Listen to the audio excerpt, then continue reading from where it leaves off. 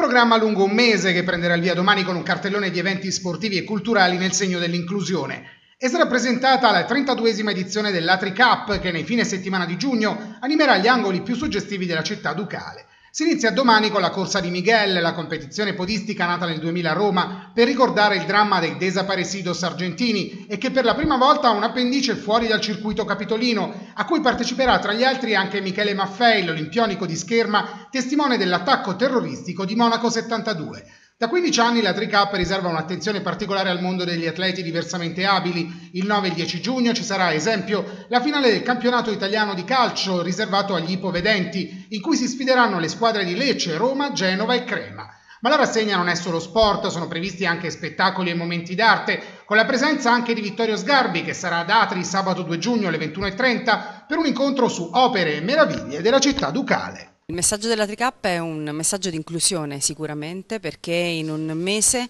eh, la Tricap riesce a coinvolgere eh, attraverso lo sport, la cultura e anche il divertimento eh, tutte le fasce eh, sociali, eh, le famiglie, gli adulti, i bambini, i diversamente abili perché eh, la Tricap si, fa, si svolge da 32 anni ma da 15 anni, da più di 15 anni la Tricap ha inserito all'interno della manifestazione eh, lo sport dei disabili, quindi avremo ehm, il basket in carrozzina, avremo altre, eh, altre discipline eh, per i non vedenti e insomma moltissime altre attività, quindi come dire è una manifestazione che valorizza il territorio, valorizza eh, il, il, sentimento e il valore della solidarietà, eh, valorizza chiaramente eh, tutta la comunità di Atri ma non solo, chiaramente tutta la,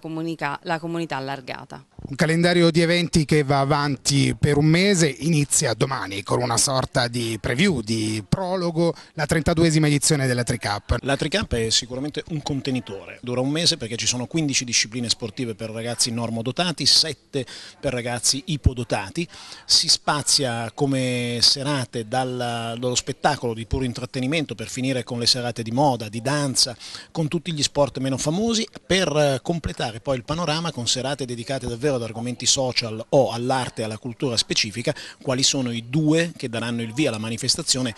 che come ci tengo a precisare non è esattamente AtriCap ma è comunque collegata all'associazione Abruzzo Ontario che per conto del comune e della regione fa parte dell'Abruzzo Open Day, Cerano Family Festival, quindi un mese di tutto.